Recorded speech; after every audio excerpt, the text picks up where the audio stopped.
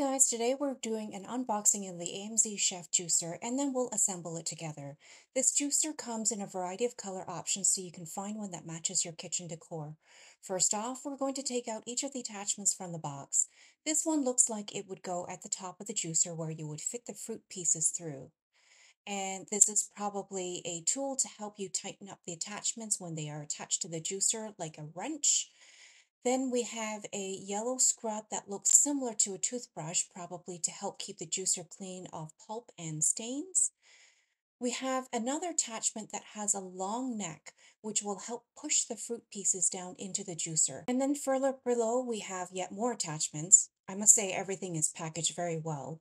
Here we have a clear piece that probably acts as a chute to flow the juice pieces through. And because it's clear, you can watch the fruit pieces go through the chute to make sure there is nothing getting clogged in the process. And we also have a strainer to prevent the pulp from flowing into your juice.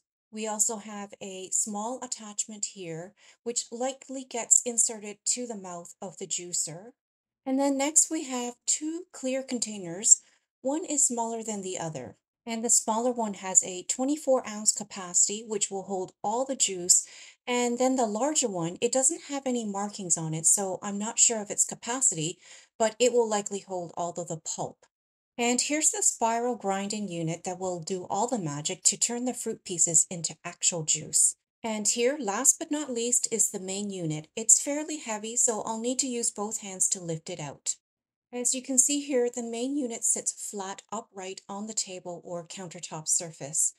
And we're going to go ahead and assemble the pieces together and get it ready for juicing. And just a quick note that all the attachment pieces are made of plastic and with the chute size, you'll want to make sure you cut up your fruit pieces small enough to fit them through the hole. I'll come back in another video to show you how to actually use this machine. I can't wait to see it in action, but so far it looks like this package came with all the pieces necessary to start juicing. And the assembly was pretty easy as we didn't even need to have to refer to the instruction manual to get started.